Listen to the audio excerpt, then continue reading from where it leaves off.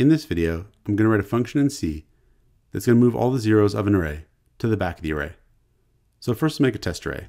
int data is equal to, and we'll put some non-zero as well as zero elements into this array. So I'll say maybe two, zero, and put in some non-zero elements, some more zeros, another zero, and maybe a couple more non-zero elements to finish it off.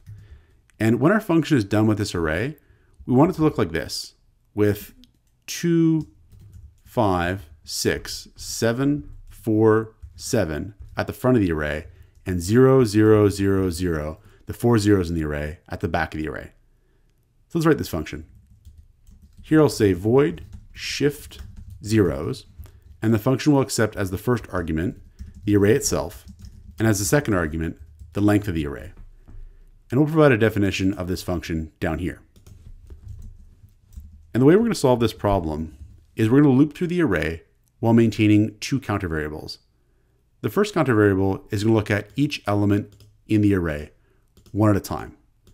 The second counter variable is going to be used for reassigning elements to a potentially new index in the array based on how many non-zero elements we've encountered.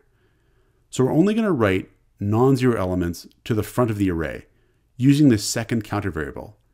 And it's only going to be incremented when the element encountered by the first counter variable is non-zero.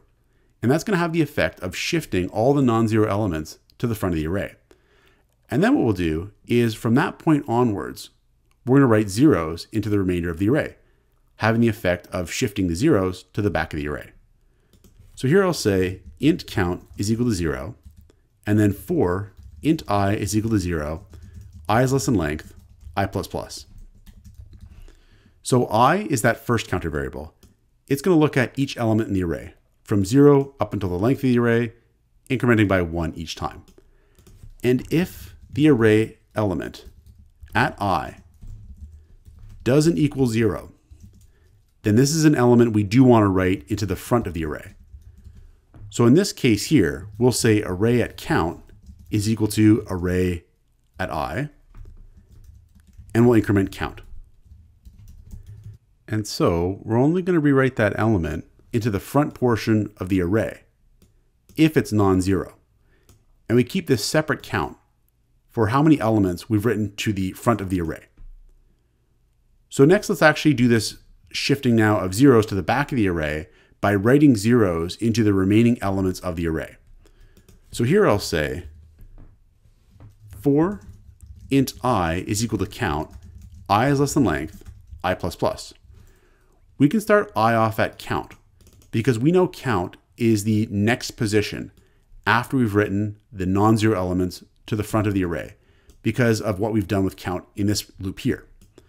And then we'll say array at i is equal to zero. And we'll set all the elements of the array from count to the length to zero.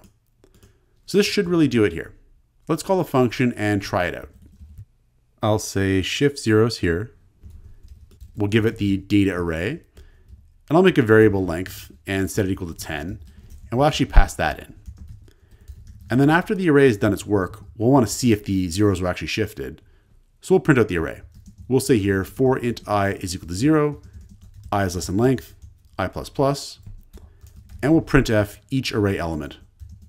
So we'll say data at i here. And we'll just throw in a new line to finish things off.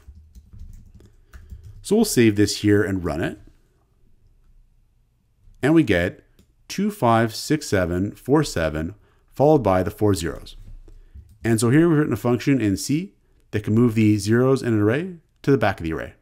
Check out portfoliocourses.com, where we'll help you build a portfolio that will impress employers, including courses to help you develop C programming projects.